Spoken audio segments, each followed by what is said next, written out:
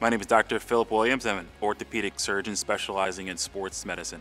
I wanted to be a doctor because I wanted to make a tangible difference in people's lives. And I see my role as creating a plan for patients to get back to what they want to do in life. So that's goal setting, really. The surgery is part of that plan, and the post recovery aspect of it as well is part of that long stated goal that we both have. And I'm there along the way to push them to get back to doing what they love.